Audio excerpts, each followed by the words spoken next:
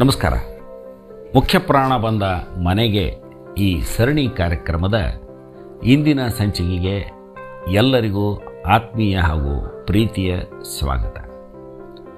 ಆತ್ಮೀಯರೇ, ಇವತ್ತಿನ ಸಂಚಿಕೆಗೆ ನಾವು ಆಯ್ದುಕೊಂಡದ್ದು ದಾವಣಗೆರೆ ಹತ್ತಿರ ಇರುವಂತಹ ಶಾಮನೂರು ಅಂತ ಒಂದು ಊರು.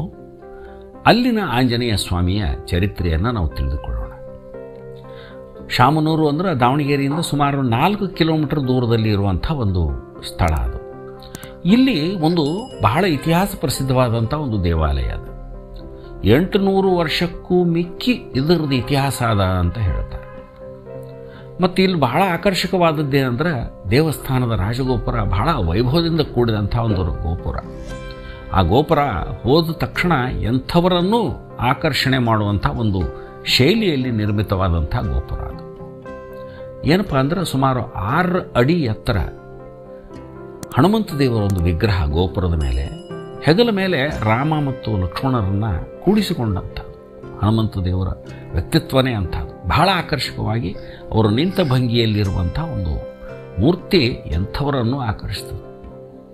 ಒಳಗೆ ಹೋದ ತಕ್ಷಣ ಒಂದು ಎಂಟುನೂರು ವರ್ಷಕ್ಕೂ ಹಳೆಯದಾದಂಥ ಒಂದು ಕಪ್ಪು ಕಲ್ಲಿನ ಮೂರ್ತಿ.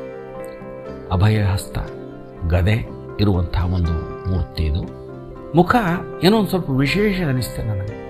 ನೇರವಾದ ಮುಖ ಇರ್ತಾವೆ. ಮುಖವನ್ನು ಮೇಲೆ ಎತ್ತಿದ ಹಂಗದೆ ಇದು. ಅದು ಬಹಳ ಆಕರ್ಷಕ ಅನ್ನಿಸ್ತದೆ ಆಮೇಲೆ ಬಹಳ ಜಾಗೃತವಾದ ಸ್ಥಳ ಅಂತ ಹೇಳ್ತಾರೆ. ಯಾಕಂದ್ರೆ ಸುಮಾರು ಎಂಟುನೂರು ವರ್ಷದ ದೇವಾಲಯಕ್ಕೆ ಸಾಕಷ್ಟು ಸಂಖ್ಯೆಯಲ್ಲಿ ಪ್ರತಿ ಶನಿವಾರ ಜನ ಬರ್ತಾರೆ.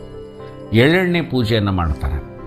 ಆಮೇಲೆ ಅಲ್ಲಿ ಬಂದು ತಮ್ಮ ಮನಸ್ಸಿನ ಯಾವುದೇ ಒಂದು ಅಭಿಲಾಷೆಯನ್ನು ಇದ್ದರೆ ಆಸೆ ಇದ್ದರೆ ಅದನ್ನು ಆ ಹನುಮಂತ ದೇವರ ಮುಂದೆ ಕೋರಿಕೊಂಡಾಗ ಅದು ಆಗೇ ತೀರ್ತದ ಅನ್ನೋ ಬಲವಾದ ನಂಬಿಕೆ ಜನರಲ್ಲಿ ಅದ.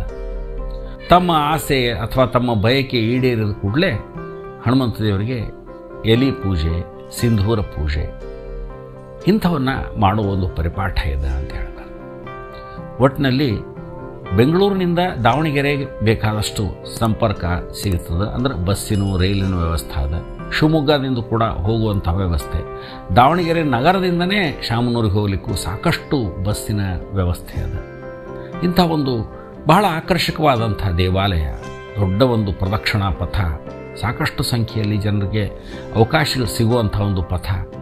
ಒಳ್ಳೆಯ ಶ್ರೀಮಂತ ದೇವಾಲಯ ಅಂತ ಹೇಳಬಹುದು ಇದು ಇಂಥ ಒಂದು ಶಾಮನೂರು ದೇವಾಲಯಕ್ಕೆ ತಾವು ದಾವಣಗೆರೆ ಕಡೆ ಹೋದಾಗ ನಾಲ್ಕು ಕಿಲೋಮೀಟರ್ ಅಂತರದೊಳಗೆ ಹೋಗಿ ದೇವರ ದರ್ಶನವನ್ನು ಪಡೆಯಿರಿ.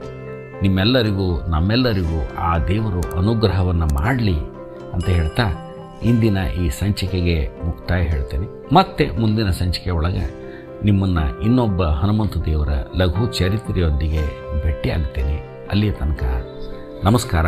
ಜೈ ಶ್ರೀರಾಮ್.